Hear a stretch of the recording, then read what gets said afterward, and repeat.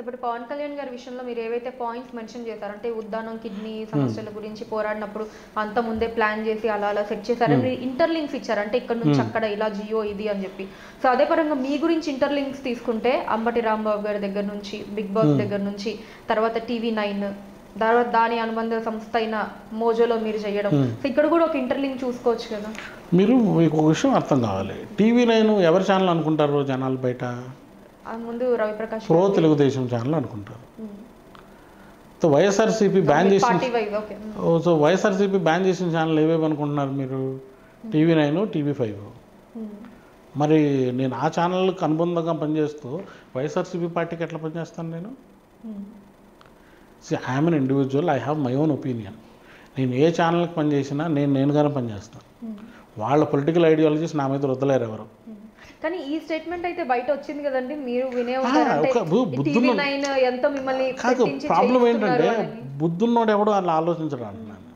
Statement అయితే వచ్చింది కదా అప్పుడు ఏమవుతుందంటే జనాలకి ఎలా అర్థం చేసుకోవాలో తెలియదు. ఇప్పుడు ప్ర- సడన్గా నేను ఎవరినో కొనికిస్కా కొట్టం కానీ పవన్ కళ్యాణ్ లాంటి వాడిని ఎదుర్కొంటున్నానంటే వీడికి ఏం బ్యాకప్ ఉందో? వీడి వెనకాల ఎవరు ఉన్నారు వీడి వెనకాల ఏదో పెద్ద మాత్ర శక్తి లేకపోతే వీడు ఇంత ధైర్యంగా ఉండడేమో?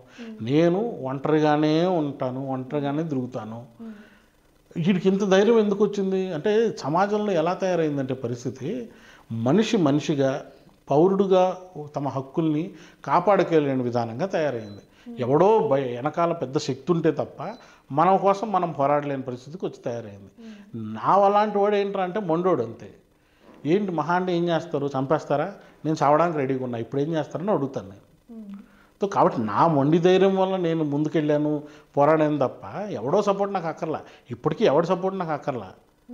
వాళ్ళు ఒకవేళ వాళ్ళకి అది ఉపయోగపడుంటే మంచిది కావచ్చు కాక కానీ నన్ను నన్ను మ్యానిపులేట్ చేయాలను నన్ను వాడుకోవాలను నా ద్వారా ఏదో పని చేసుకోవాలనే అంత టైము తీరిక ఓపిక ఎవరికి లేదు. ఇప్పుడు వైఎస్ఆర్సీపీ అనేది చాలా పెద్ద పార్టీ. దాంట్లో కొన్ని వేల కోట్ల అధిపతులు చాలామంది ఉన్నారు. చాలా పొలిటికలీ పవర్ఫుల్ ఉన్నారు. వాళ్ళందరికీ నా ఒక్కడ అవసరం ఉందా? నేను ఎవడిని నేను నిజంగా లిటరల్గా I'm no one I'm nobody నాలాంటి వాడు సపోర్ట్తో party నిలబడుతుందా? It the fight was brought to me నా వరకు పోరాటం వచ్చినప్పుడు నేను దానికి వ్యతిరేకంగా పోరాడాను అంతే.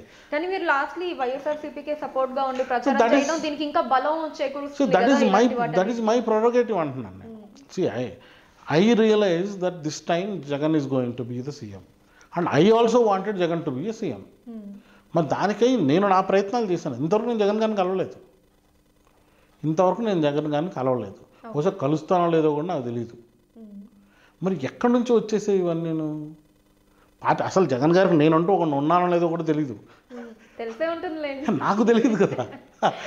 అంటే ఇవన్నీ కూడా ఎలా ఉంటుందంటే జనాలు నా సామర్థ్యాన్ని నా పోరాట పటిమని నా స్ట్రెంగ్త్ ఆఫ్ మొండితనాన్ని అర్థం చేసుకోలేకుండా వీడికి ఏదో పొలిటికల్ మోటివ్స్ ఉన్నాయి వీడికి ఏదో ఫైనాన్షియల్ మోటివ్స్ ఉన్నాయి వీడు కావాలనే చేస్తున్నాడు అన్న. కావాలని ఎవడైనా ఎందుకు చేస్తాడు?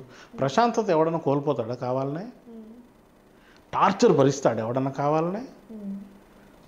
నగర బహిష్కరణ ఎవడన్నా భరిస్తాడా కావాలనే? నేనేమన్నా కోరుకున్నాను కేసీఆర్ గారు నేను ఊరి నుంచి వెళ్ళిపోతాను పంపించేయండి నేను లేదు కదా. సో ఇవన్నీ కూడా నేను నాలాగా ఉండడం వల్ల జరిగిన పరిణామాలు.